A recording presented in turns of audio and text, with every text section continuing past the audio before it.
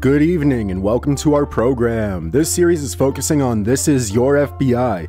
This Is Your FBI was a radio crime drama which aired in the United States on ABC from April 6, 1945 to January 30th, 1953 for a total of 409 shows.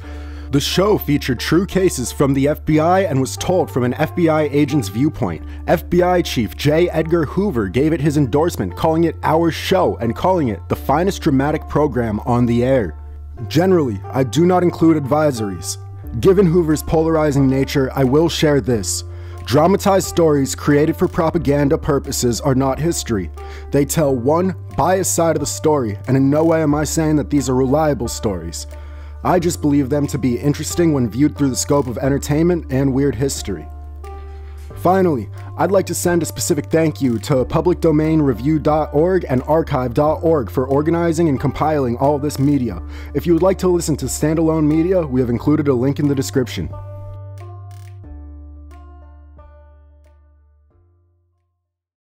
The Equitable Life Assurance Society presents This is Your FBI.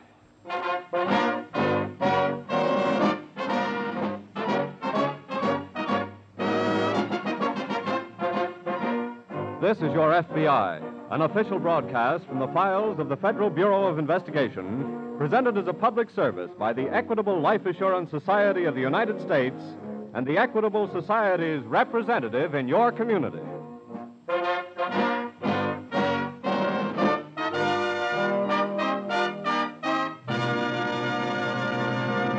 Are you one of the 50 million Americans covered by Social Security? If so, have you any clear idea of your rights and benefits under Social Security? Well, there may be a pleasant surprise in store for you, for in a few minutes you will learn from our sponsor, the Equitable Life Assurance Society of the United States, how easy it is to build Social Security into full security.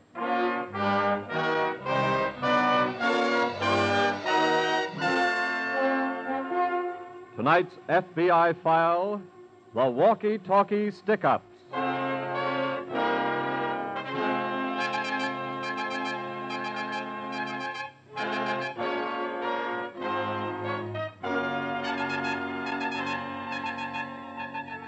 During six horrible years of war, millions of human beings were slaughtered. And today, countless other millions are homeless and starving. All because the younger generations of two nations had been imbued with a savage contempt for the rights and property of others. Had grown up in the belief that the way to get what you want was to steal it, and if necessary, use a gun. Today, the lives and rights and property of American citizens are being assaulted by the biggest army of criminals in the country's entire history. How old are they? More than one out of five is under 21 years of age, and the percentage is increasing. Last year, the largest number of arrests in all age groups was of boys and girls 17 years old. Boys more or less like those in tonight's case from the files of your FBI.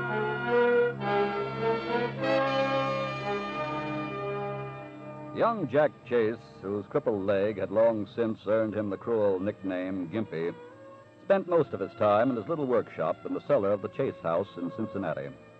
And that's where he was that afternoon when his younger brother Freddie and Betty's running mate, Knuckles Butler, brought him a problem to solve for them. Can we come in, Jack? Huh? Oh, sure. Come ahead. Go ahead, Knuckles. Okay. Me and Knuckles want you to show us how to work something. Oh, what do you got? If you lay off what you're doing a minute, Gimpy, we'll show you. My name is Jack. Okay. Look these things over, will you, Jack? Hey, walkie-talkie radio sets. That's right. They're brand new. Mm-hmm. And they got U.S. Army stamped on them, too. No kidding. Where did you and Knuckles get these, Freddie? Well, we, we got My 'em down- cousin just got home from the army. He had them, and we borrowed them. Okay? Yeah, that's right, Jack. Uh, that's where we got 'em. I see. How do they work? Well, they have to be set at the same frequency first. Then what? Well, I'll show you. see. We'll make it a 112 megacycles. We'll make the wavelength about two and a half meters. Hey, what does that mean, Jack? Well, uh, Oh, it would take too long to explain. You want to set this other, too, don't you? Yeah. Let's see. There we are. I'll pull out the antenna like this. Mm-hmm. When you want to talk, what do you do? Flip the switch over this way. Well, what about when the other guy is talking? You flip it back. I get it. Now, how can we tell if these things are working? Well, I'll go outside and see if we can make contact. Okay. Uh, leave your switch like it is till you hear me. Right. This looks like it's going to be real easy, Knuckles. Yeah. Do you talk now? He said wait for him. I ain't going to do anything. This is Jack. Can you hear me talking, Knuckles? Over. Yeah, sure. I heard you swell. Let me say something, huh? Get away. Well, look, how am I going to help you out in that job Shut if up, you don't... stupid. The switch is open. What job is that, Fred? Fred, do you hear me? He didn't say job. He said joke. We're going to take these things out tonight and have some fun.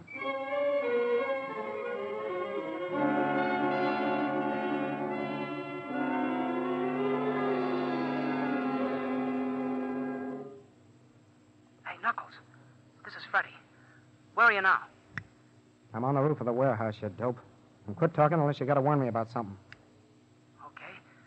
Everything is still all clear down here. I found the door to the stairs that lead down inside. The nylons are supposed to be on the top floor, so it oughtn't to take me long. Just keep a watch out for the cops. I'm going down in now.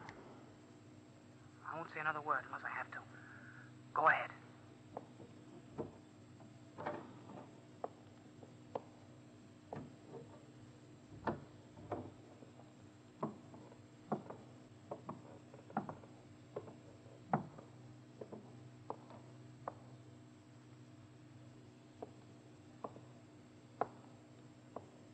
Hey, Knuckles. A police car just turned the corner going toward the warehouse.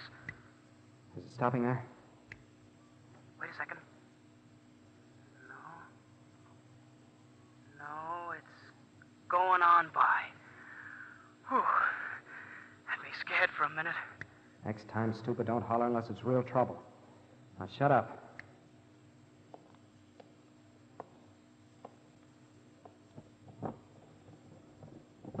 That'll be enough, kid. What?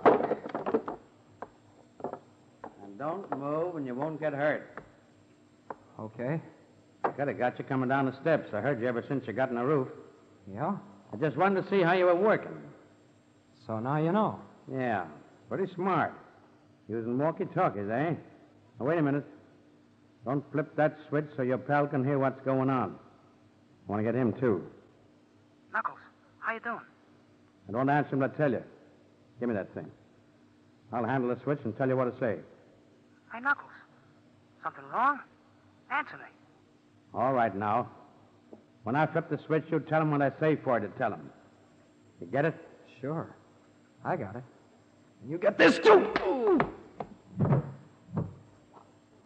Knuckles, are you okay? Sure, kid. I'll get the nylons and be with you in a minute.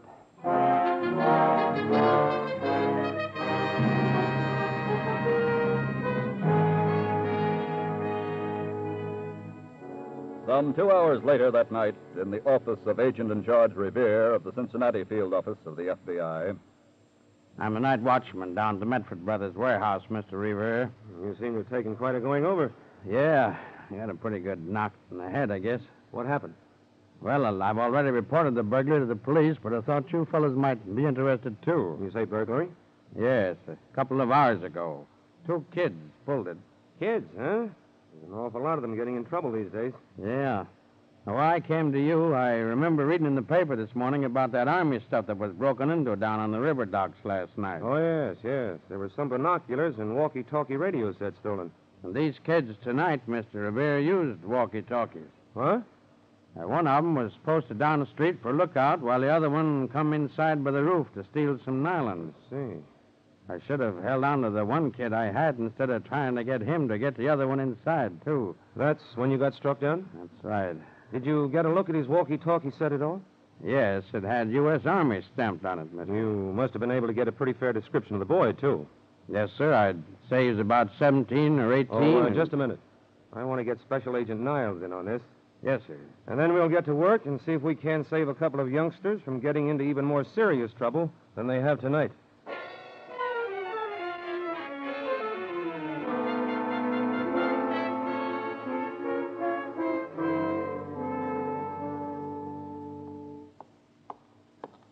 Jack. Oh, what is it, Fred? Has Knuckles been here? No. Where is that guy? He's supposed to meet me here an hour ago.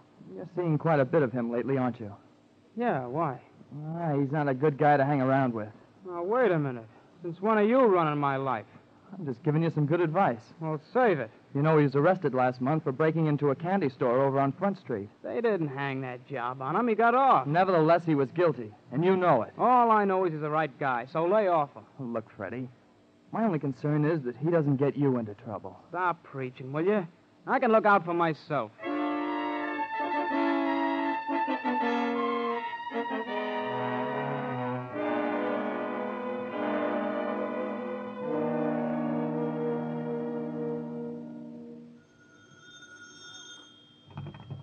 Revere speaking. This is Niles, Mr. Revere. Good, I'm glad you called in. But I haven't got any lead on those kids yet. Maybe I have. What? A woman just phoned. She'd read about the walkie talkies being stolen. Yeah? Yeah, she saw a kid next door to her house yesterday afternoon using one. Uh uh The boy has a crippled leg, so he couldn't have been the one who slugged the night watchman. But he could have been the one who played lookout. Mm, it's possible. Anyway, you better hop out and have a talk with the boy. Here's the name and address.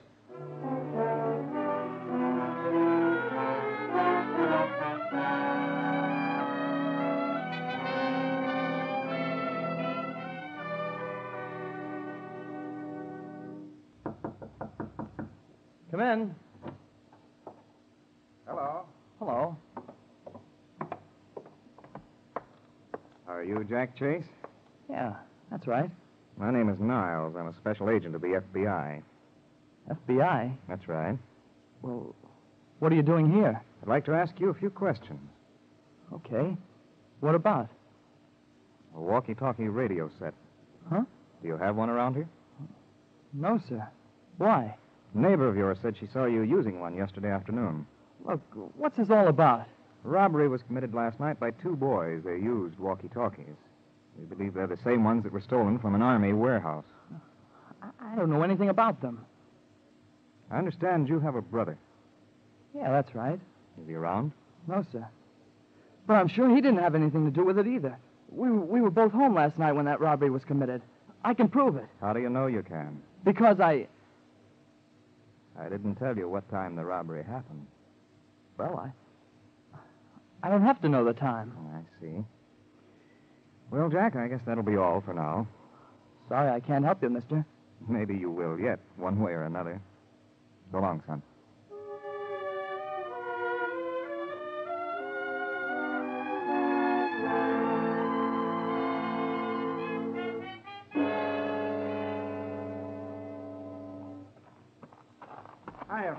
Hey, what kept you, Knuckles? I had to wait around to see that guy downtown. Did he buy the nylons?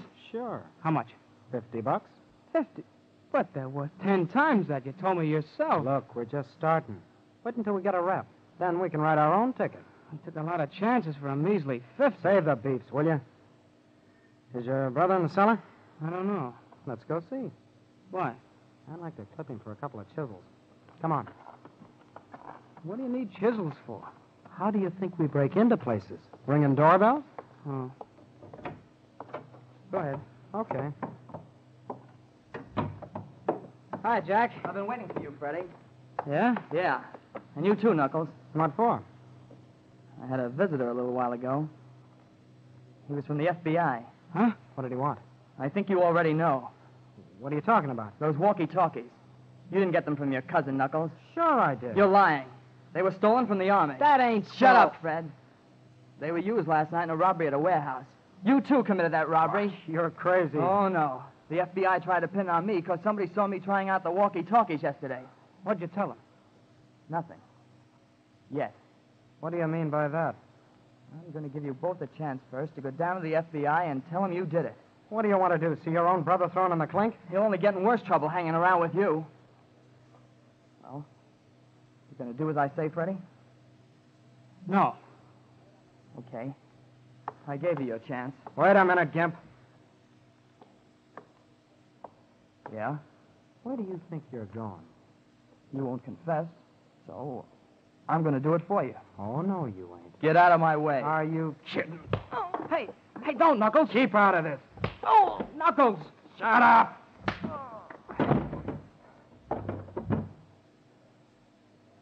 That should keep him quiet. Let's get out of here.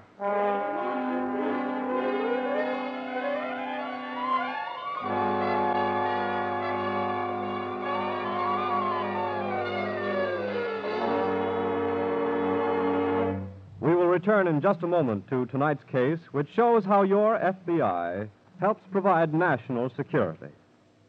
And now let's listen in on a conversation about Social Security between a man named Mike McNulty and his friend, the Equitable Society representative. Hey, what do you take me for? A big shot with a fancy salary? How can a man who earns $60 a week think of retiring at 65 with an income of $100 a month? Because you've got a good old uncle who's going to help you do just that, Mike. Uncle? I've no rich uncle. My father's only brother died last year, and all he left was debts. No, Mike, the uncle I'm talking about is Uncle Sam.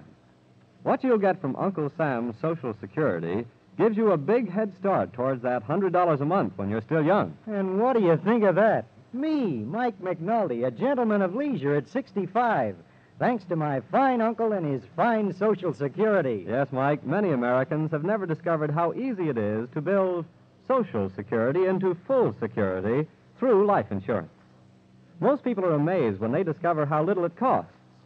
For instance, if you already own some life insurance, your Equitable Society man may be able to show you how only a few dollars extra per month will give your wife complete protection and assure you a comfortable retirement income through the Equitable Extended Income Plan. Remember, your Social Security benefits vary according to your age, salary, and family situation. Why not get the facts? Find out exactly what you're entitled to under Social Security. The government has prepared a special card that'll help you secure this information. To obtain one of these cards, get in touch with your Equitable Society representative or send your name and address on a postcard to the Equitable Society, care of this station. That's E Q U I T A B L E, the Equitable Life Assurance Society of the United States.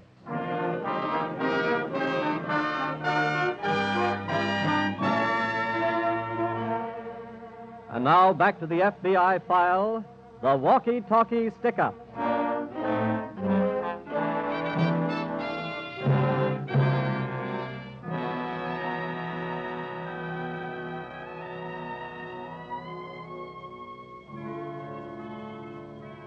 In Europe, it was a lawless army of swaggering, arrogant young Nazi bullies who took what they wanted by force and savagely struck down even the helpless and defenseless who stood in their way. In America, today, it is a lawless and rapidly growing army of swaggering, arrogant young bullies who are taking what they want by force. In Cincinnati that day, it was one such bully who struck down a crippled boy. And it was that boy's own brother who stood by and watched the beating.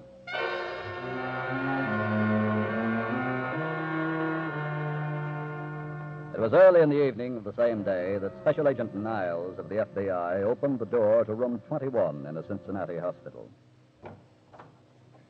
Hello, Jackie. What? Oh, hello. The nurse said I could come in. Okay? Okay. Thanks.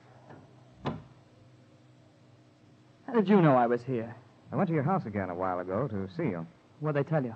That you told them it was a hit and run driver that knocked you down. Well, that's what it was.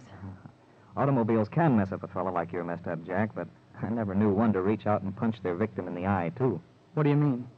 You've got a beautiful shiner. Look, I gotta just. Jack, where's your brother? I don't know. You mean he hasn't even been here to see you? Oh, yeah, sure. Sure he was here. Oh, then he must have come in and gone out by the window. Nobody in the hospital saw him. Nobody home knows where he is. Nobody at Knuckles' house knows where he is either. Knuckles? That's the nickname of the boy who slugged the watchman last night, and your brother has a pal by that nickname. Your folks told me. Oh. Why did they beat you up? Who said they did? I could tell today that you'd guessed who committed that crime last night, so when you wouldn't talk, I left you alone. Now, look, mister. Then I- you went to Freddie and Knuckles and advised them to confess, and that's when they beat you up, isn't it? I'm not talking. Look, you're not sparing your folks or Freddie either, Jack. What do you mean? You're letting them in for a much bigger shock later on. You're only saving Freddy for that day when he kills somebody and gets sent to the electric chair. How do you feel about that, knowing that you could have prevented it? What do you want to know? Everything I've said is the truth, isn't it? Yes. Then where are they? I don't know. Honest, I don't. All right, but you can still help. Maybe you can tell me something about those walkie talkies.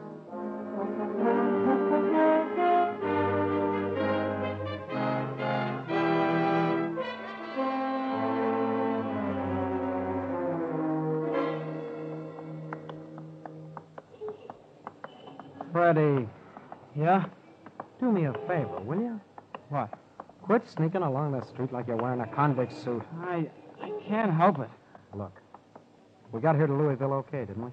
Yeah, but And nobody knows we're here. But they'll keep looking, Knuckles. And when they get to Louisville, we'll be gone. Only guys that stop moving and stop using their heads get caught. Maybe so. We gotta get a hangout. Then case out another job. I've got to raise some dough first. Come on, Where are we going? to find a hawk shop. What for? I'm gonna hawk these binoculars. That'll bring us 20, Oh, 25. but what'll a guy think when he sees U.S. Army stamped on them? He'll know he's getting the best there is, that's all. Let's go.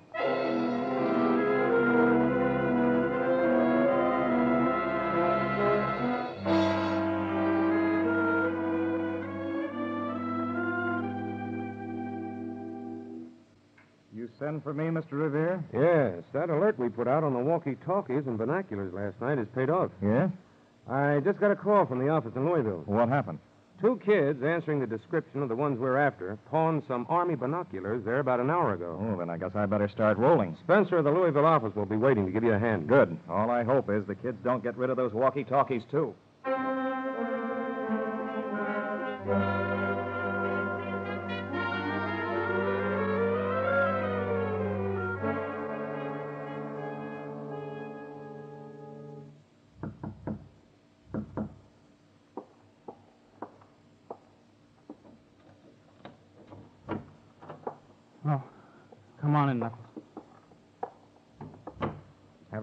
Freddie. I got us a job all cased out for tonight. Hey, you look like you're getting ready to go somewhere. I was just waiting till you got back to tell you. Tell me what? I'm going back home. You're what? I made up my mind, Knuckles. I'm leaving. Oh, Now sit down. look. Look, it won't do any good to act that way, Knuckles. Maybe I didn't hit you hard enough. No matter what you do, I'm quitting.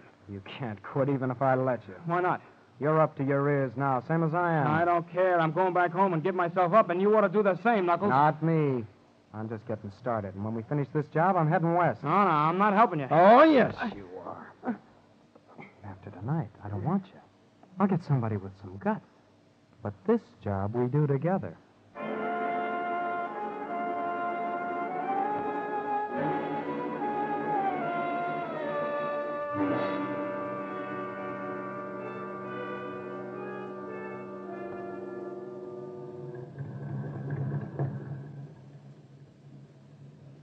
Not going to pull anything tonight, Niles. We better wait it out, Spencer. Maybe they changed their frequency. According to the brother, they don't know that much about it. He had to set it for them. Well, our receiver is set at 112 megacycles, too.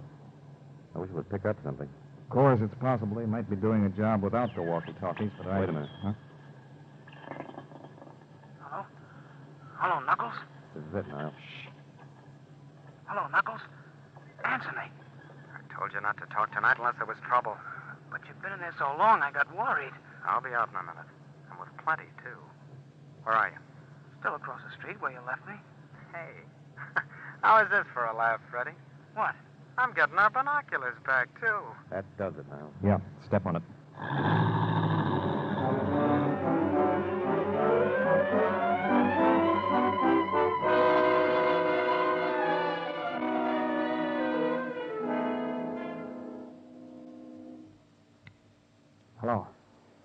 Hello, Freddie. What do you say, Knuckles? I'm starting out the back way now, the way I came in. All clear out front? Yeah. Everything's all clear, Knuckles. I'm afraid you're wrong, Freddie. Huh? Freddie, what's the matter? Who said that? Special agent of the FBI, Knuckles. Huh? I just picked up Freddie outside. What is this? I'm a special agent, too, and you're both coming back to Cincinnati. How, how did you find us? When we get to Cincinnati, I'll let a certain cripple boy tell you all about it, son. Come on.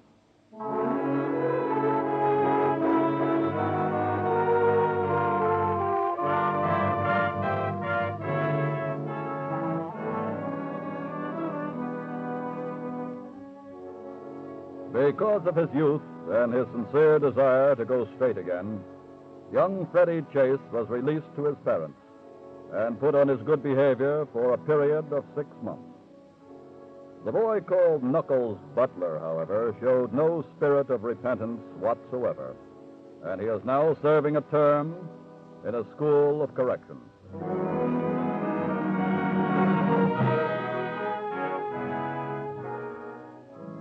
Tonight, ladies and gentlemen, we bring you a timely message on the subject of juvenile delinquency from the director of the Federal Bureau of Investigation, Mr. J. Edgar Hoover. America's crime bill runs into billions annually.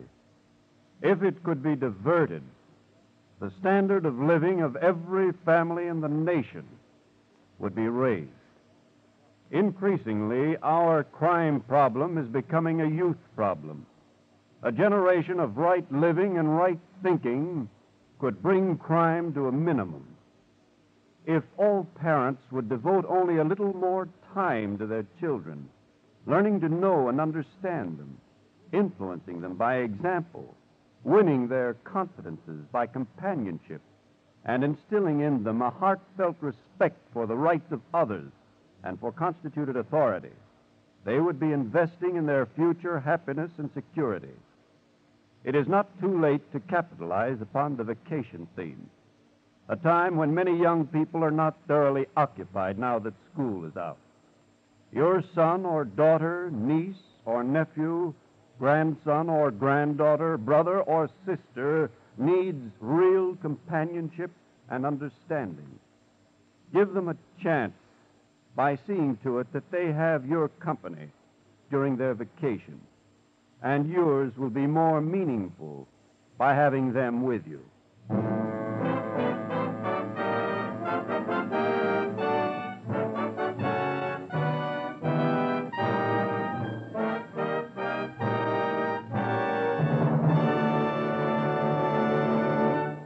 Just a moment, we'll tell you about next week's colorful story from the files of your FBI.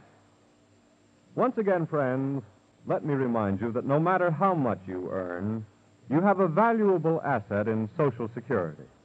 And your Equitable Society representative will gladly show you how easy it is to build your Social Security into full security. He'll explain to you how Social Security and life insurance can work together for your complete protection and will help you determine exactly where you stand under Social Security. No obligation, of course. Phone him tomorrow. Your Equitable Society representative is listed in your local phone book under the name Equitable. E Q U I T A B L E. The Equitable Life Assurance Society of the United States.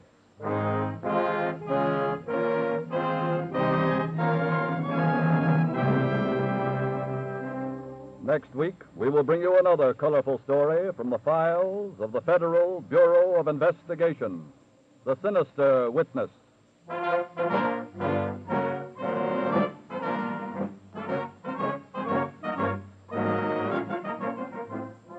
The incidents used in tonight's Equitable Life Assurance Society's broadcast are adapted from the files of the Federal Bureau of Investigation. The role of J. Edgar Hoover was impersonated.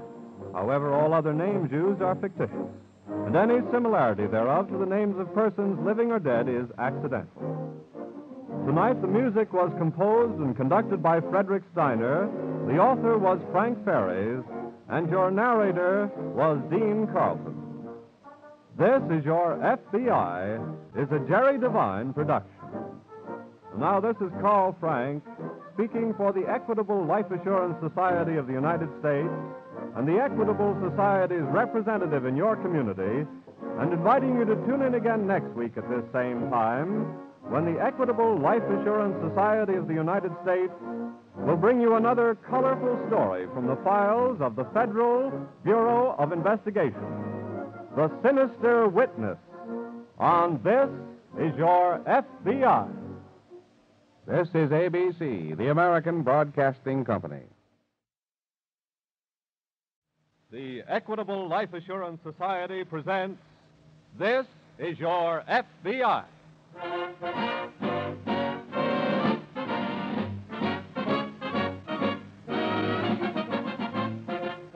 This is Your FBI, an official broadcast from the files of the Federal Bureau of Investigation, presented as a public service by the Equitable Life Assurance Society of the United States and the Equitable Society's representative in your community.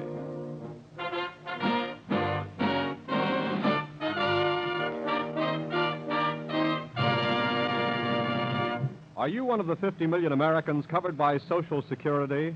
If so, have you any clear idea of your rights and benefits under Social Security? Well, there may be a pleasant surprise in store for you, for in a few minutes you'll learn from our sponsor, the Equitable Life Assurance Society of the United States, how easy it is to build Social Security into full security.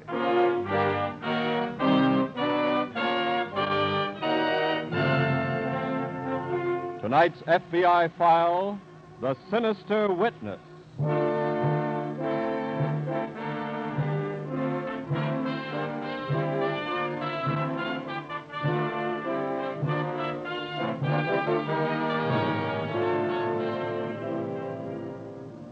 Sometimes, as you listen to these programs taken from the files of your FBI, it may occur to you that the characters involved are from another world. Nothing could be further from the truth. Every hour of every day, you are living closer to crime than you think. For the best proof of that, consider tonight's case a case involving a person who might be you.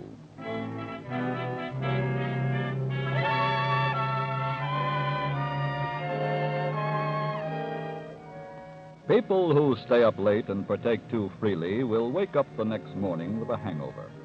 That is a medical fact. A hangover can happen to a professor, a fireman, or even, as in this story from the files of your FBI, to the president of a department store, one Mr. J.B. Lamar. Mrs. Lamar is just across the bed from her husband as he opens his eyes for the first time. Good morning, dear. Oh, no. Dear, What? pull down the shades.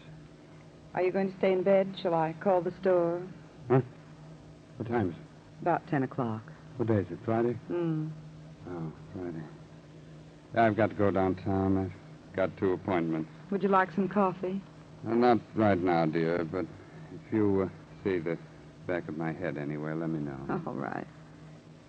Oh, I almost forgot. Happy anniversary. Same to you, dear. Do you suppose there's any more champagne in town? If there is, I can't blame it on us. Mm, They can't blame it on you if there's no scotch either. Why? Was I drinking scotch and champagne? Oh, why didn't you stop me? The first division couldn't have stopped you.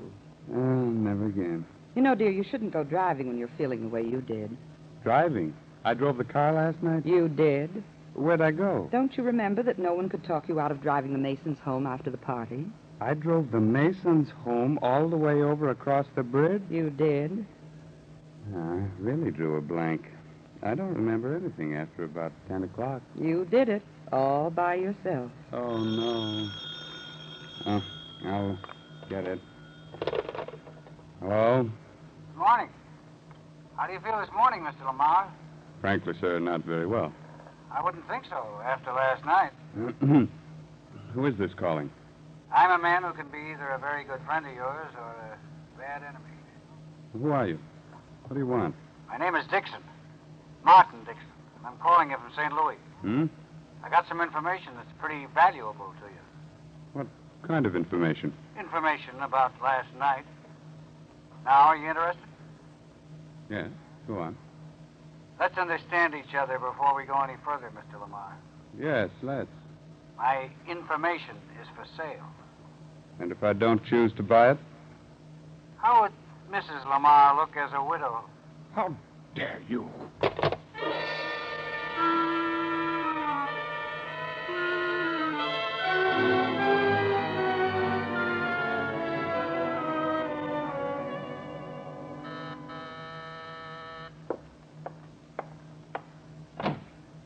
Yes?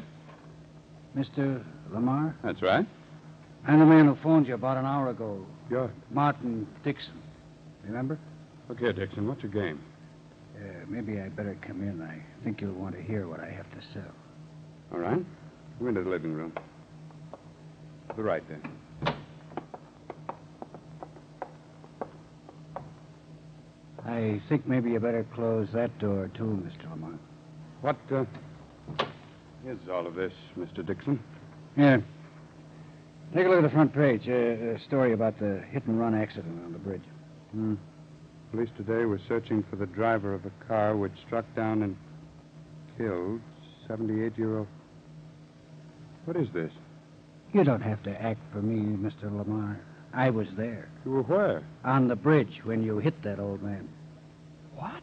I thought it might be something of a shock to you, Mr. Lamar, and I also thought you might not believe me.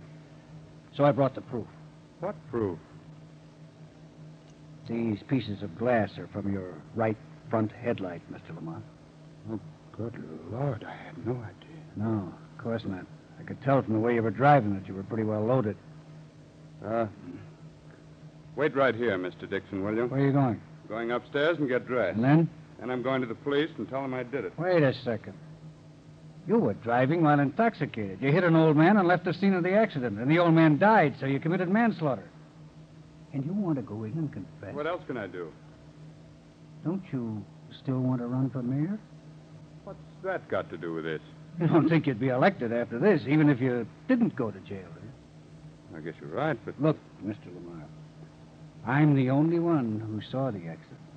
You are? Yep. Now I've got the only evidence that you had the accident. Would you be interested in buying some rare pieces of glass? Direct from Toledo, Ohio? I, uh, let me think. Okay, Mr. Lamar. I'm giving you till 8 o'clock tomorrow morning to think. And I have that $2,500 in cash. So long.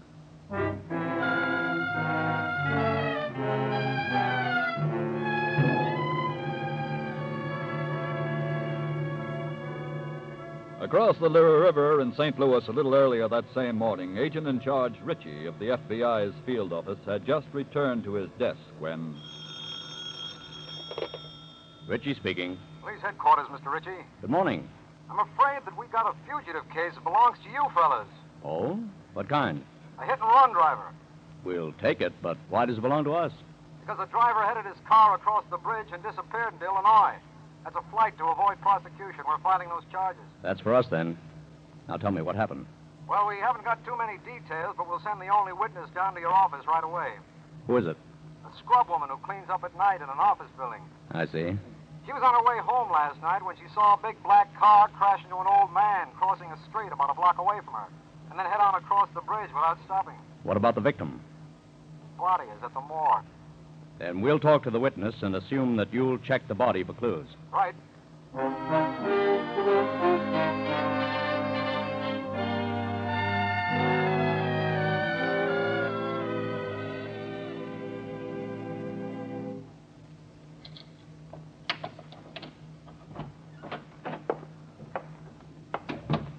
Hey, Marty, where are you, baby? I got to. Oh. I didn't see you. Hmm. Hmm. Won't you look nerve wracking? Don't speak to me unless you got some money. Okay. How do you do, Marty? Let me see it. There you are, baby. 2,500 skins. Count 'em. Where'd we get all of these? Well, you know those four little pieces of glass I showed you? Well, Well, I'm selling them to a certain party for $2,500 apiece. $2,500 a piece. That's right. He's already bought one, and he thinks he's going to get the rest Friday morning for only one more $2,500. I don't get it. That's not important now. The important thing is. Now I'm going to get some clothes. I'll say you are. And after I finish selling those four pieces of glass, we're off, baby. We're off.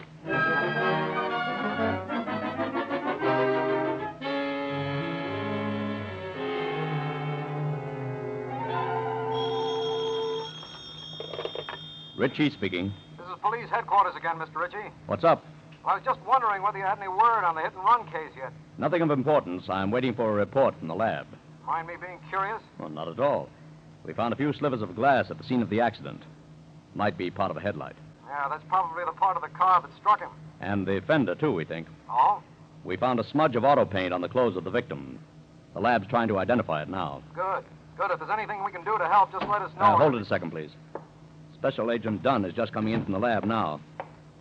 Got something Dunn? The glass is from a headlight, all right. What about the paint check? Well, it's an exact match of the formula of paint used on the 1941 model Buick. Uh-huh. Hello? Yeah? We'll give you the first alert, Sergeant. We want to check all garages for one that may have repaired the right headlight and front fender of a 1941 model black Buick sedan. Okay, we've gone to work. So long. Now, let's put out the same alert, Dunn, to all police departments in Missouri and Illinois right away. Right.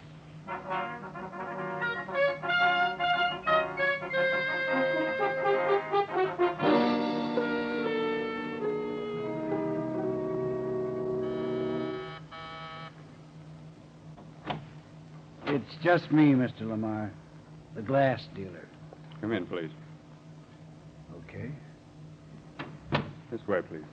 I hope you haven't gone to the trouble to think up any funny ideas, Mr. Lamar, because I ain't going to Step to. in, please. Have a chair. Look here, Mr. Lamar. I said have a chair. Do I get the $2,500 or don't I? No, you don't. What? I confess I was prepared to pay you another $2,500 this morning. In the last few moments, I changed my mind. How come? How come? Well, it's like. Never mind what it's like, Mr. Lamar.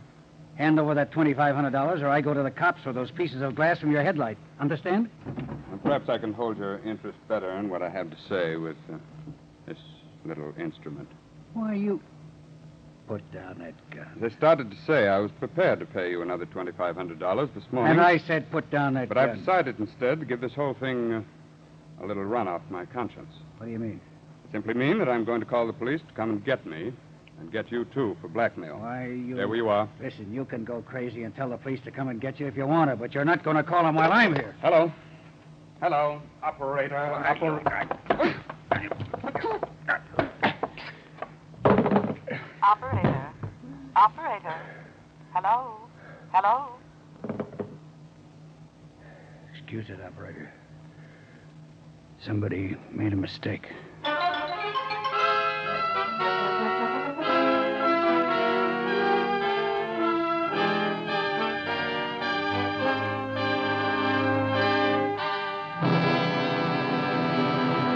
We'll return in just a moment to tonight's case, which shows how your FBI helps provide national security. Now let's listen in on a conversation about Social Security between a career girl named Audrey Andrews and a representative of the Equitable Society. Uh, Carl, you mean that my Social Security that costs me only a few cents every payday may be worth thousands of dollars to me later on? That's right, Audrey. Why, I never dreamed it amounted to anything like that. Well, that's the wonderful thing about Social Security.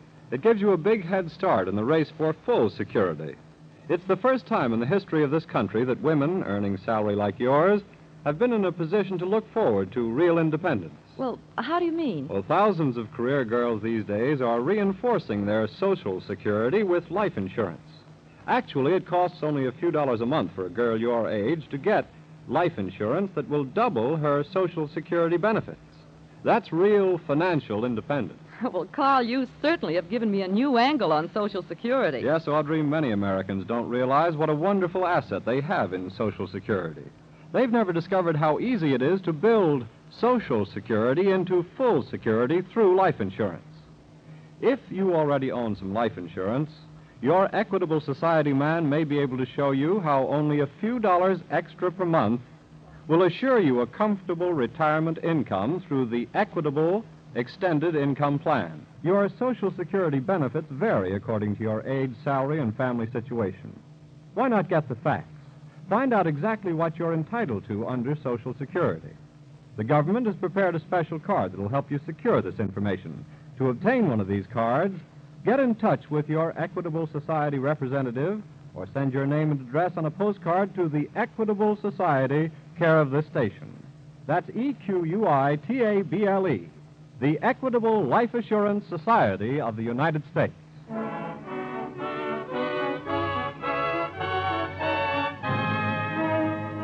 And now back to the FBI file the Sinister Witness.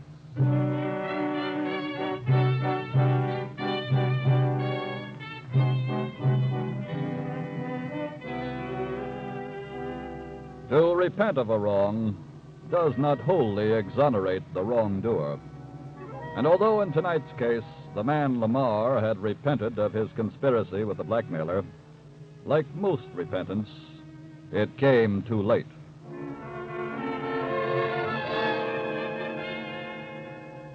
It was some two hours after the blackmailer had struck down Lamar and escaped that Agent in Charge Ritchie and Special Agent Dodden of the FBI's St. Louis office, in answer to a call from police headquarters in Newtown, arrived at the bedside of Lamar and was listening to his confession.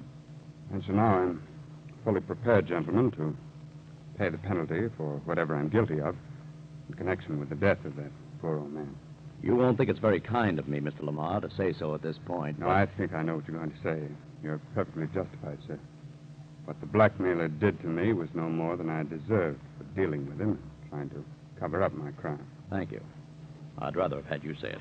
I guess there's nothing more for me to say except that. Uh, sorry I bungled the job of holding on to the blackmailer for you.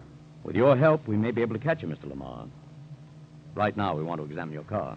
I'm afraid the blackmailer's gotten away with the most conclusive evidence. The pieces of glass from your headlight? Yes, sir.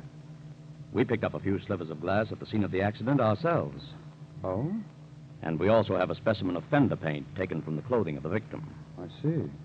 Our laboratory, Mr. Lamar, has identified it as the formula of paint used on the 1941 model Black Buick.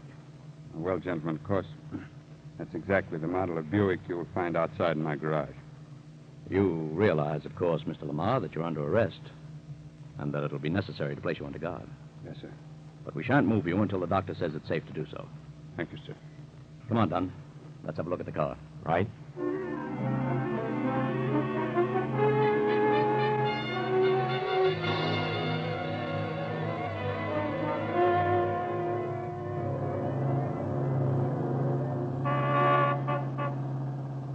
Well, now that I'm Miss Fashion Plate of 1946, Freddie, Yeah, Marty?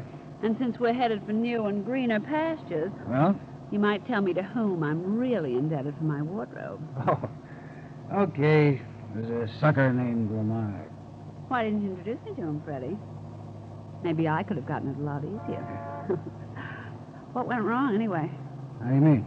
Well, you were going to collect a total of 10000 bucks, and you stopped at five. Oh, you got a bad case of conscience and pulled a gun on me and was going to call the cops. So, you... So I took his gun, slugged him, and took it on the lam with the second $2,500. What I don't understand about it all is those uh, four pieces of glass. Those four pieces of glass, baby, came out of a headlight on our car. So what? I didn't tell you this. I smacked into an old man the other night and killed him. I had to get away fast, so I took off across the bridge. Yeah? And what do I see parked at the side of the road right off the bridge but another black Buick sedan, just like ours. I don't get it. Well, I stopped and looked in. There was a guy asleep at the wheel. You could smell the liquor on his breath three feet from the car. Yeah, yeah, go on. So right there and then, Freddie gets the bright idea of pinning the accident on him. How? He smashed his headlight. If that had waked him, I'd have played drunk myself. But it didn't. Nah, slept right through it. then I took a pair of pliers and just dented his right front fender a little. Freddie, you're a real genius. Ah, it was nothing, baby, nothing. He was a pushover for it. Too bad, though. We could have used that other five grand. We're going to make that look like peanuts, baby. You still haven't told me how. We're headed for a fancy lake resort, sweetheart. And? And there'll be at least one guy with arthritis and a big bankroll who can't resist your charms. Does he have to have arthritis? Well, anyway, when I come busting in your suite in the middle of the danger line cocktail, I'll yell. How dare you, sir? This is my wife. $50,000, please. Why, Grandma, what big numbers you have.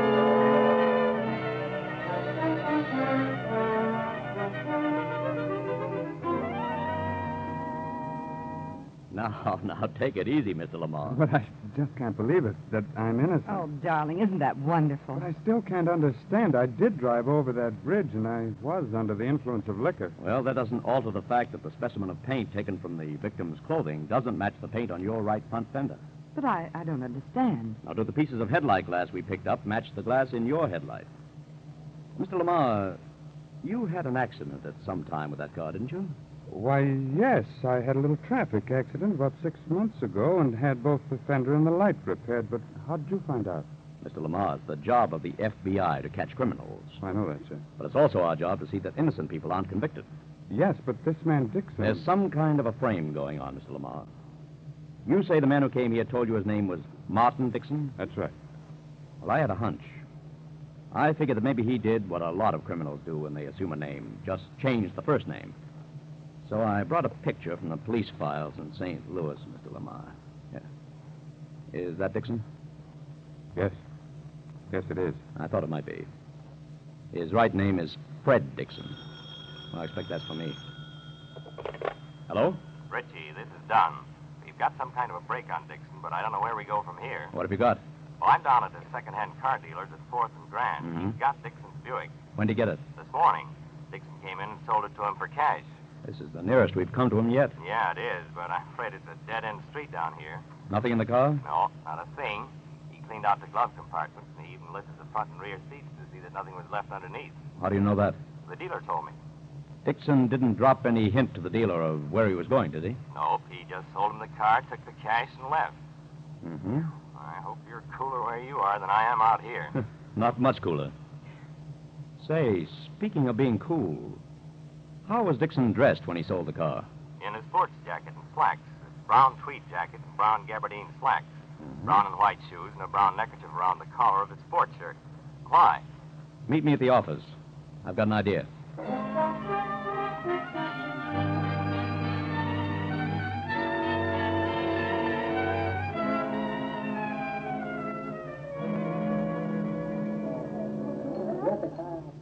Uh, bourbon and water, please. Uh, beg pardon, miss. You someone using the stool? Oh, it's all yours. Thanks. What do you mean by coming in here? I was afraid to call you on the phone. Okay, it's all set. Arthritis and all. When? We're having champagne in my suite after dinner. What time? Oh, Trango, darling, till 10 o'clock. Ten o'clock. Okay.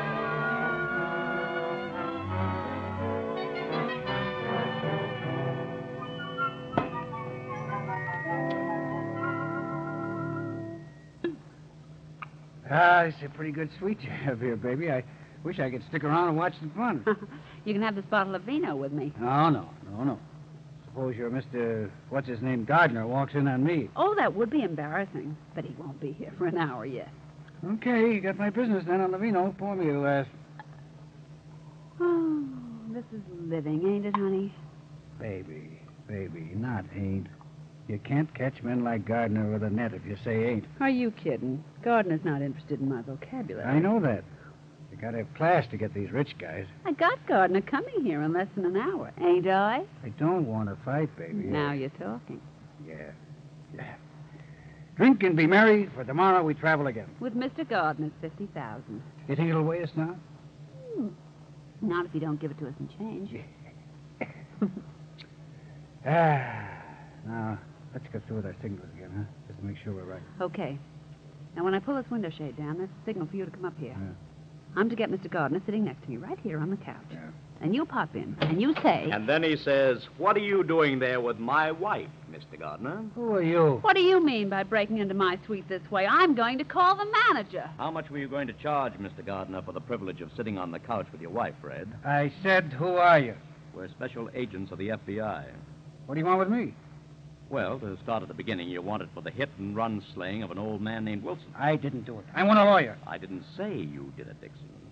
I merely said that you're wanted for that crime. Now, if you're innocent of that, then maybe you can be convicted of blackmailing Mr. J.B. Lamar of St. Louis. Fred. Don't worry, baby. These guys are crazy if they think they can pin anything on me. No, we're not crazy, Dixon. You should have changed your clothes after you sold your car. When the dealer gave us a description of your clothes, I took your picture down to the airline ticket counters and to the railroad. But we didn't. When go- I got no response at those places, I went to all of the drive it yourself automobile agencies. Oh. When I hit the third one, they told me you'd rented a car there. How'd you know we'd come to this place? That was simple.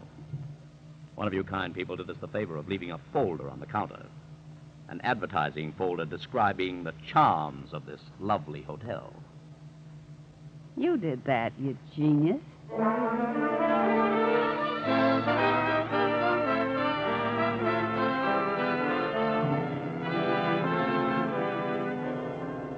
the hit and run killing of Joseph Wilson and for his crime of extortion, Frederick Dixon is now serving concurrent terms in the federal penitentiary. Mr. Lamar declined to press the blackmail charges, resulting in the release from custody of Martha Johnson.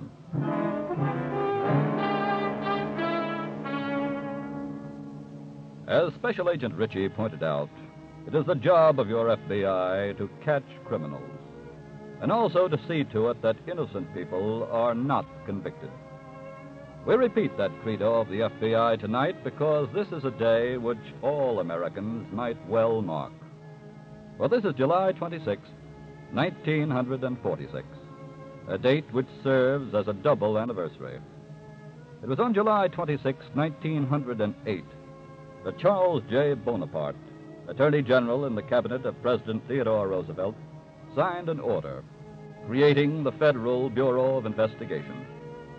Nine years later, on July 26, 1917, a young law clerk joined the FBI. A young law clerk named J. Edgar Hoover. Since that time, your FBI has become nationally and internationally famous as an organization which protects you, the American people.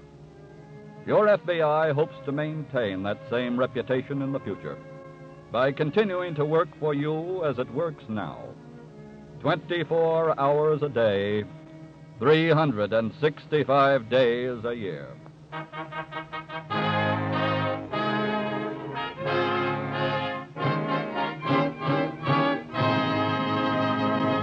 In just a moment, we'll tell you about next week's colorful story from the files of your FBI.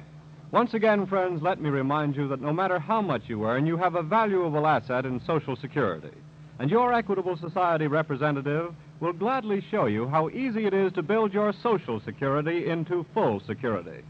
He'll explain to you how Social Security and life insurance can work together for your complete protection and will help you determine exactly where you stand under Social Security. No obligation, of course.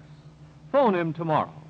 Your Equitable Society representative is listed in your local phone book under the name Equitable, the Equitable Life Assurance Society of the United States.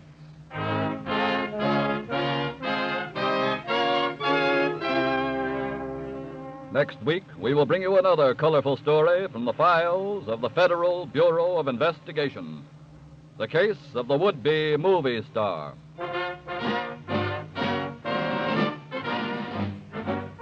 The incidents used in tonight's Equitable Life Assurance Society's broadcast are adapted from the files of the Federal Bureau of Investigation. However, all names used are fictitious, and any similarity thereof to the names of persons living or dead is accidental.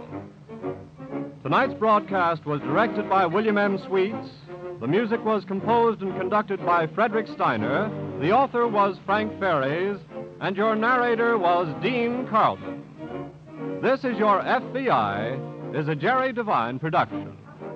Now, this is Carl Frank speaking for the Equitable Life Assurance Society of the United States and the Equitable Society's representative in your community, and inviting you to tune in again next week at this same time when the Equitable Life Assurance Society of the United States presents This is Your FBI.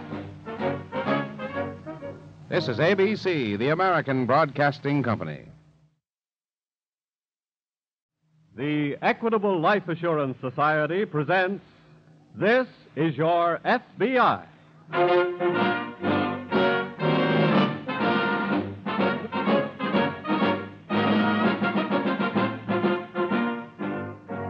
This is Your FBI, an official broadcast from the files of the Federal Bureau of Investigation, presented as a public service by the Equitable Life Assurance Society of the United States and the Equitable Society's representative in your community.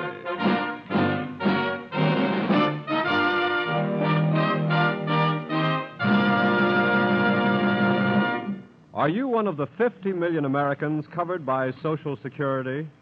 If so, have you any clear idea of your rights and benefits under Social Security? Well, there may be a pleasant surprise in store for you, for in a few minutes, you'll learn from our sponsor, the Equitable Life Assurance Society of the United States, how easy it is to build Social Security into full security.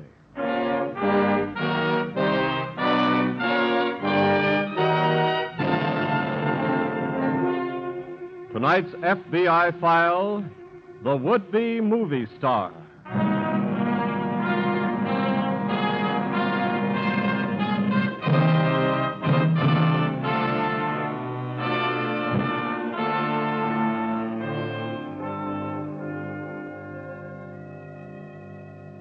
As a general rule, statistics are rather dull. But here are some statistics which, to you and to every other good American citizen, should not only be far from dull, but should, in fact, be truly alarming. Last year in this country, major crimes alone were committed at the rate of nearly 5,000 every 24 hours. And the figures for this year already show an increase of almost 22%.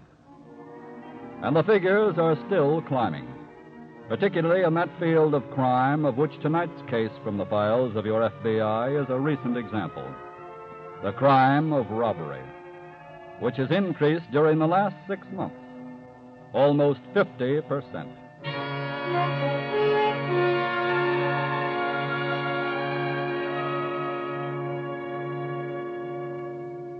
Ever since she saw that movie a couple of weeks ago in which a baby stole the picture from the grown ups in the cast, Ruth Patterson has been obsessed with three ideas.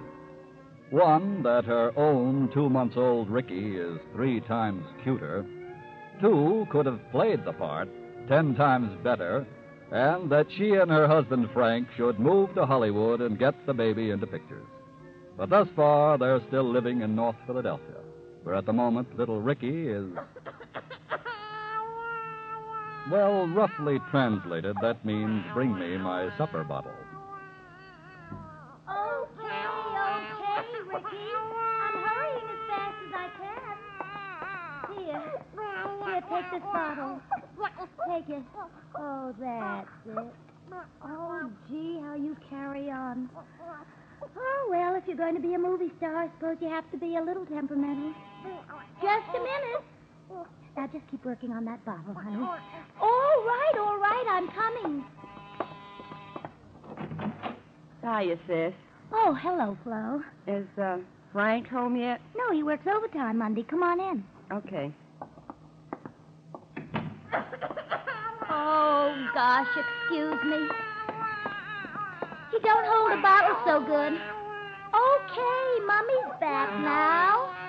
There we are. Ah. Flo. Yeah? Come here. Well, what is it? Look at Ricky. Look at that face of his. Did you ever see such expression? Yeah, that's cute. Cute. With eyes like Jimmy Stewart, hair like Van Johnson, and a chin like Cary Grant, and all you can say is cute. Honey, I'm just happy he doesn't look like that husband of yours. Oh, gee, that reminds me. You know, you shouldn't even be here, Flo. Why not? Frank says he don't like for you to visit me. He thinks you're a bad influence. Haven't you given up caring what he thinks? Well, sure, but he's the only husband I've got. What about the Hollywood deal? Oh, you mean with Ricky? Yeah. Is Frank going to take you out there? No. He says that's out. You still want to go? Of course. Without Frank? Sure, but but how? I think I've got an angle for you on that. Oh, gee, what is it? Your car's here, ain't it? Yeah, why? Get Ricky. We're all going to the store. Store? What store? There's a supermarket over on the other side of oh, town. What are we going there for? Get Ricky like I tell you and let's go. This kid is going to co-star in a little act that'll get you and him to Hollywood. What? Pick him up, will you? And come on.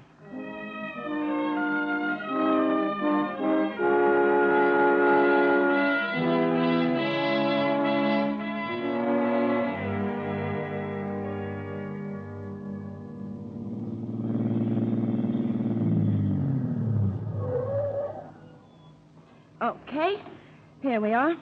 Oh, look, Flo. Ricky went to sleep in my arms coming over. Oh, that's well. Bring him and come on. Where? Into that store. Oh. But look, it's already closed. Don't you see the sign on the door? The manager's still in there. He'll let us in. Oh, okay. I'll do all the talking. Come on.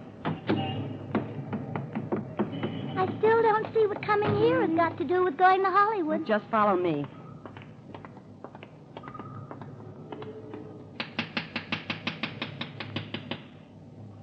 Look, the manager sees us, but he's shaking his head no. Hold the kid up where he can see him. Oh, y- you mean like this? Yeah. Come on to the door, mister. Oh, here he comes now. Look, let me do the talking. Oh, I wouldn't know what to say anyway. I'm sorry, ladies, but the store is closed. Yes, we know, and we wouldn't have bothered you except on account of the baby. You see, it's my sister's baby, and she forgot. You don't to... have to tell me. You forgot to get milk for the baby, right? Now, how did you know that? Lady, I unlock this door two or three times a week for the same reason. Oh, then you don't mind? Of course not. Come right in. Thanks. Go ahead, sis. Okay. We can't turn down little fellas that need milk. Oh. Now, if you just wait right here, I'll go back to the ice Never box. mind, mister. I beg your pardon? Never mind the milk. This is a stick-up. Oh, Shut up. well, I didn't know we came over here for this. Quiet, will you? Get him up, mister, and walk over to that cash You, register. you, you, you're really holding him up? Do what I tell you, mister. Okay. Anybody in the back? Everybody else is gone. Okay. Over to the cash register. Here. Put the money in this paper sack. Fill that money bag, too. Hmm. Too bad I didn't think of this Saturday. We'd have got a bigger take. It'll be too bad for you ever thought of it at all. Oh, now, mister, don't be sore. This is as big a surprise to me as it is to you. Now, wait a minute, mister. Take your hand out from under that counter. I just wanted to get Drop some... that gun. Oh, no, I... Flo, you shouldn't have fired that gun. Look, you made Ricky cry.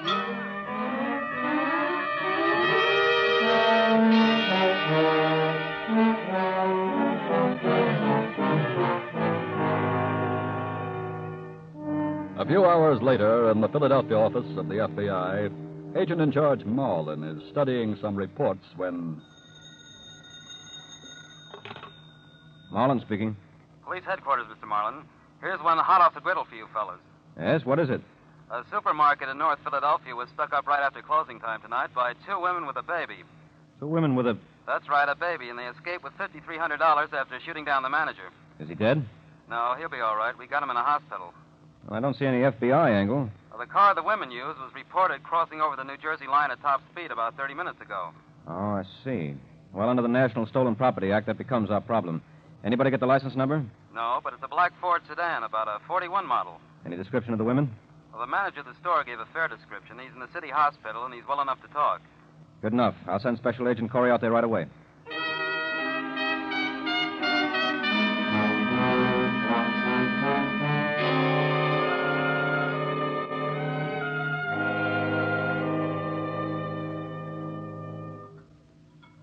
Me another cup of coffee, Ruth, please. Oh, but you haven't got time, Frankie. Look at the clock. No, well, fix me a cup anyway while I get on my coat and tie, huh? Oh, you better not stop for any more coffee, Frankie. You'll be late. Look, what's the matter with you this morning? Nothing, nothing's the matter. Why? You've been trying to rush me out of here ever since I got up. Oh, I am not a sister imagination. No, I'll answer it. Oh, no, I'll, I'll, I'll answer it. Uh, you go put on your tie. Okay.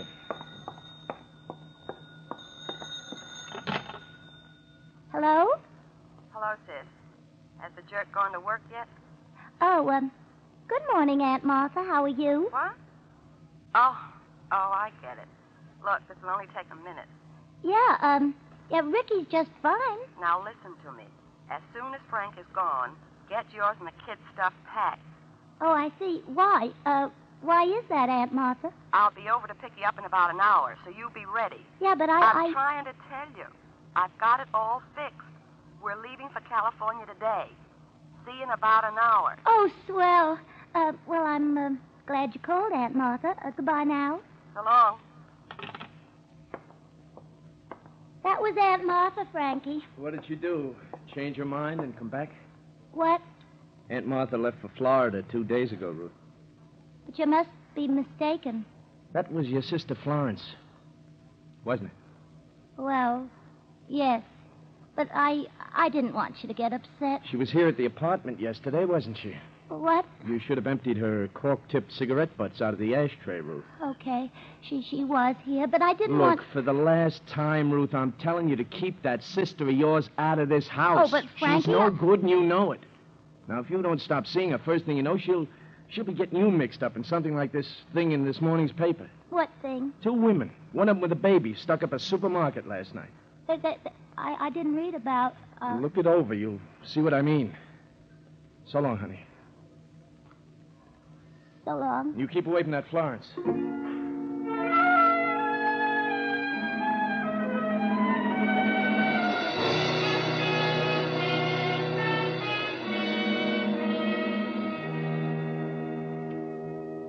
Good morning, Corey. Morning, Mr. Marlin. I had to go out on another case last night. Didn't get back. What happened on your supermarket investigation? You haven't seen my report yet? Oh, I just got in a few minutes ago. Oh. Well, I got one lead, and we ought to know any minute now whether it's a good one or not. What's that? The baby's footprint. Baby's footprint? Yeah. I don't see how when you the got... women came in to hold up the store, the baby was asleep in its mother's arms. Yes? The pistol shot wakened it, and the baby started crying and kicking. Uh-huh. The manager remembered hearing the mother tell the baby to stop pushing his feet against a glass case. and- Oh, and that's where you found the footprint. Right. Good, good. I hope so. Anyway, I got the lab to turn out a lot of copies of it last night, and by now every hospital in Philadelphia has one. What makes you think the baby was born in the Philadelphia hospital? The police said the hijacker's car was seen speeding across the line into New Jersey last night. That could have been a trick to give a false lead. They could have ju- doubled back later, you know. Yes, I suppose so. If that baby was born in a Philadelphia hospital, we ought to know any minute now who its parents are.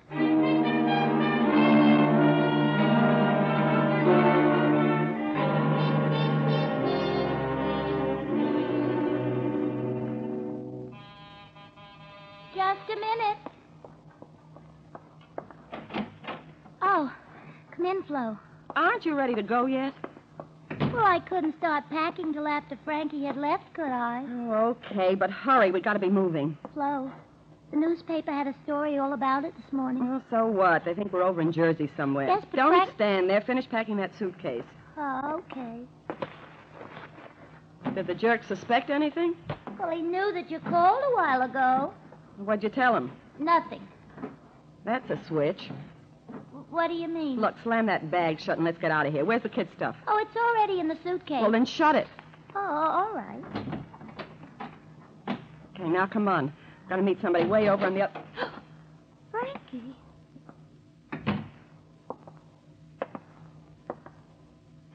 I found this on the floor of the car. Thought I'd better come back. What is it?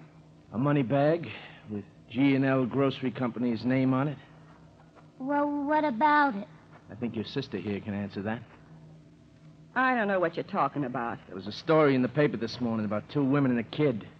They held up the store that this money bag came from. So? I got a pretty good idea you did the job and you took my wife and kid with you. Frankie, I. Honey, you know I'm telling the Oh, truth. stop, will you? She probably hooked you in with some of that Hollywood talk, putting Ricky in pictures. Oh, I don't want to hear any more of this. Come on, sis. Wait a minute. Ruth, what are you doing with those bags? What she should have done a year ago. She's leaving you. Oh, no. No, she's staying. Both of you are. We are not. I'm taking Ricky to Hollywood, and you can't stop me. Now, look, you may be tired of me, Ruth, but you're not going anywhere with this sister of yours until I get the truth on this stick up. You uh, really want the truth? Yeah. Okay, sucker. Oh. Flo, that was Ricky's 10 o'clock bottle.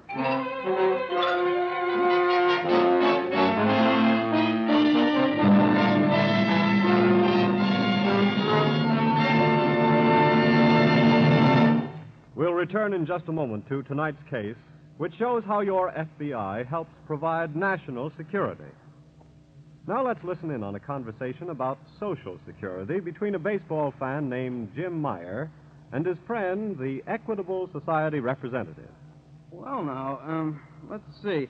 You ask who has the better chance of scoring a run? A man on second base or a batter with two strikes against him? Right? Why, the man on second, of course. That's right, Jim. And that illustrates a point about Social Security. In the old days, most of us had two strikes against us. Our chances of ever getting full security were slim. But now every man who has Social Security starts on second base. But how does he advance to the home plate, Carl? Through life insurance, Jim. Life insurance is the pinch hitter that never fails. For instance, at your age, by paying a comparatively small sum every week, you can double the protection you get from Social Security. Say, now that's an interesting angle. I- It's what you might call teamwork between Social Security and life insurance. Yes, Jim, many Americans don't realize what a wonderful asset they have in Social Security. They've never discovered how easy it is to build Social Security into full security through life insurance.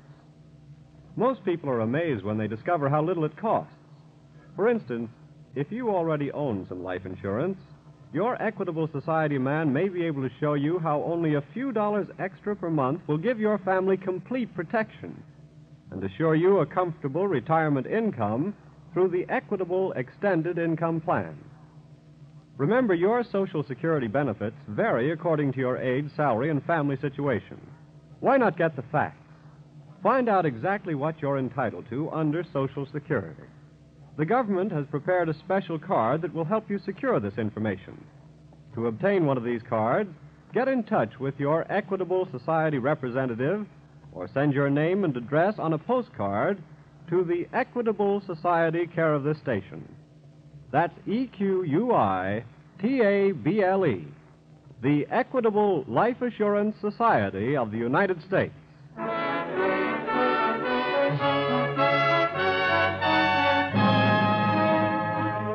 And now back to the FBI file The Would Be Movie Star.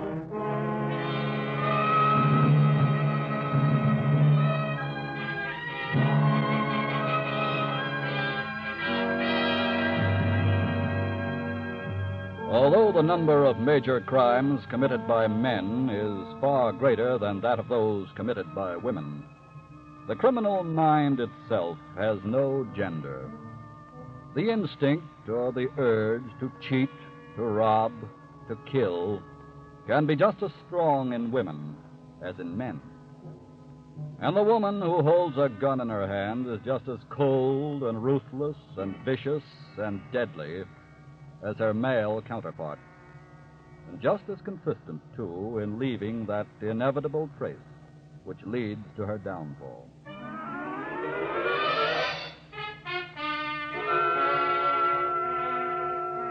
It was barely 30 minutes after the girl Florence had struck down her sister's husband Frank and fled from the apartment with her sister and the baby that Agent in Charge Marlin and Special Agent Corey of the FBI arrived at the apartment house in North Philadelphia.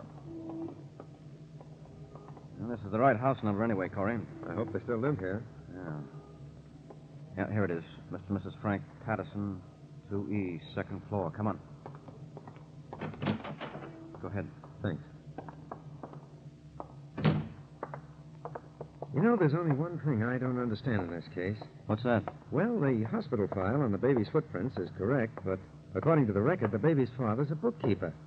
What of it? Well, he just doesn't sound like the kind of person who'd have a wife that goes in for hijacking. You should have been with the Bureau long enough, Corey, not to be surprised at anything. I know, but- Hold it. A, B. E ought to be back toward the rear. Come on. C, D. That's E on the left there. Hold it. Just a minute, mister. You Frank Patterson? Uh, yeah. We're special agents of the FBI. Oh, You know why we're here? yeah, I guess I do. But I'm telling you, my wife is innocent. It was her sister that got her into it. She's made nothing but trouble ever Now, since wait a minute, wait a minute. Not so fast. But she's taken my wife and baby away with her. I, I got to catch up with them before. We'll they... do the catching, Patterson. Just tell us what happened. Well, I, I don't know all the details, but when I found that grocery company money bag on the floor of my car this morning on the way to work, Yes? well, I knew who had done the robbery I read about, so I came tearing back to the house and found her sister was here getting ready to take Ruth and the baby away with her. What did you do? I tried to put her out of the house, but she struck me with something. I passed out. What's her name? Florence. Florence Bethel. She lives at 824 North Street, but I don't suppose they went there. because- Corey. Yeah? Hop over to that address right away and see what you can find out. I'll be back at the office. Right.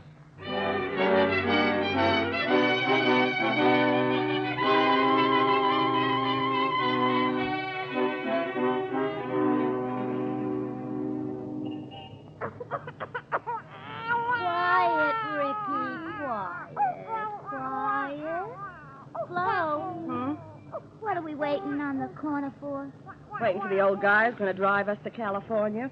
What old guy? Oh, the one I told you about. He had an ad in the paper that he was driving through and would share expenses. I called him this morning and made the deal. Well, why couldn't we go on the train? It's safer for us this way. Oh. How do, ladies? Oh, Hi. I'm Mr. Chandler. Are you the ones who are waiting for me? Yeah. Yeah, we're the ones. Fine, fine. Say, that's a mighty young baby you got there to be making such a long trip. Oh, yes, sir. He's only two months old, but he's just the He's cutest. real tough. He can take it. Oh, I promise you he won't be any trouble to you. He couldn't be any trouble for me, young lady. I like babies. Oh, you do? Okay, then, let's get started. Very well. I'll give you a hand with your bags, and then we'll all be off for good old California.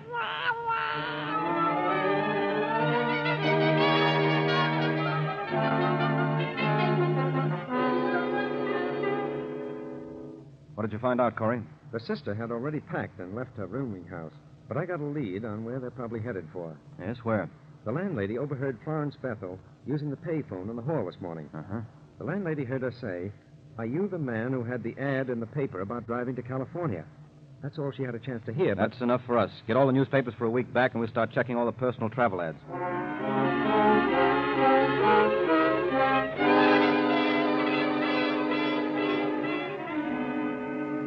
Found one in California yet, Corey? not yet.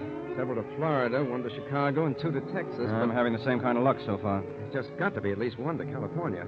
I'm on the last list now, so. Wait. Wait a minute. Find one? Yes. Yes, give me the phone. What did they say? Chandler's our party, all right. That was his niece. What route are they taking to California? His niece didn't know, but look up the number of the American Motor Club. What? She heard Chandler call the club to have them lay out a route for him. Good. Okay, here's the route they're taking. Then let's hit the highway. Well, that's doing it the hard way, Corey. What do you mean? They've got at least a three-hour lead on us. Yeah, but- Now, we know the route they're taking and how much mileage Chandler plans to make each day. So after we put out a general police alert for them, let's pick out a plane stop somewhere on the route up ahead of them and...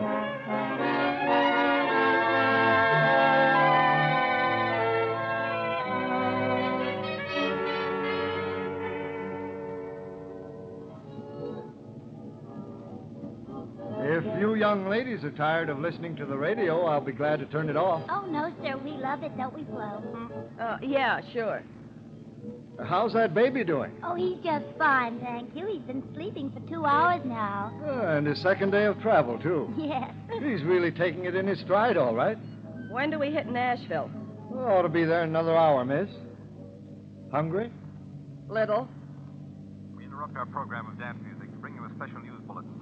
Police in the seven states alerted by the FBI have as yet found no trace of the automobile believed headed for California, carrying as passengers the two women and a baby who figured in the holdup three days ago of a supermarket in Philadelphia. Flo, Police are confident that the driver of the car, A.B. Chandler of Philadelphia, is not aware of the identity of his passengers, and they express the fear that Well, it, it looks like I've gotten a little better acquainted with you young ladies. Flo, what are we going to do? We're going to California, of course. Yes, but Mr. Chandler, pull off to the side and stop. What? What do you mean? We're leaving you here. Oh, no, you're not. I'm driving on into Nashville and turn you over. That's over. a gun sticking in your back, mister. Now stop like I tell you. You understand? Very well. Now get out. Flo, look. What? Well, That that car. It's coming right over the side of. All right, put down that gun, miss. Who are you? We're special agents of the FBI. The FBI. Thank That's right, and your trip to California stops right here. Oh, look, Ricky heard that. Now he knows he'll never get in pictures.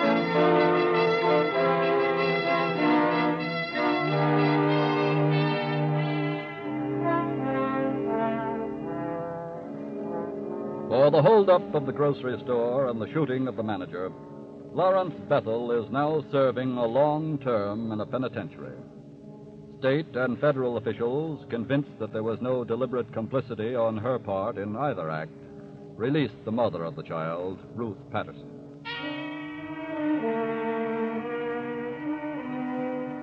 Florence Bethel was just one more of the hundreds of criminals being brought every day to inevitable justice. But still, the crime wave in America rises higher and higher. Your FBI and your local law enforcement agencies can only capture criminals. They cannot prevent them from coming into being. That is a problem for America's homes and schools and churches and other social groups to solve.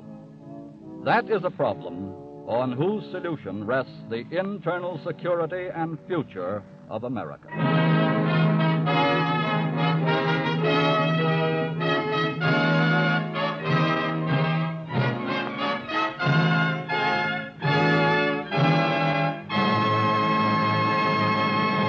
In just a moment, we'll tell you about next week's colorful story from the files of your FBI. Once again, friends, let me remind you that no matter how much you earn, you have a valuable asset in Social Security. And your Equitable Society representative will gladly show you how easy it is to build your Social Security into full security. He'll explain to you how Social Security and life insurance can work together for your complete protection and will help you determine exactly where you stand under Social Security. No obligation, of course. Phone him tomorrow. Your Equitable Society representative is listed in your local phone book under the name Equitable. E Q U I T A B L E. The Equitable Life Assurance Society of the United States.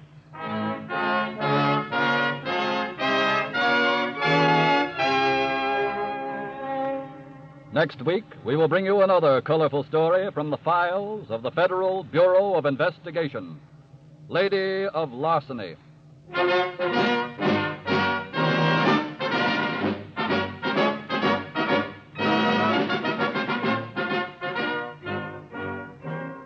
Incidents used in tonight's Equitable Life Assurance Society's broadcast are adapted from the files of the Federal Bureau of Investigation. However, all names used are fictitious, and any similarity thereof to the names of persons living or dead is accidental. Tonight, the music was composed and conducted by Frederick Steiner. The author was Frank Ferries, and your narrator was Dean Carlton. This is Your FBI is a Jerry Devine production. Now, this is Carl Frank speaking for the Equitable Life Assurance Society of the United States and the Equitable Society's representative in your community, and inviting you to tune in again next week at this same time when the Equitable Life Assurance Society of the United States will bring you another colorful story from the files of the Federal Bureau of Investigation Lady of Larceny. On This is Your FBI. This is ABC, the American Broadcasting Company.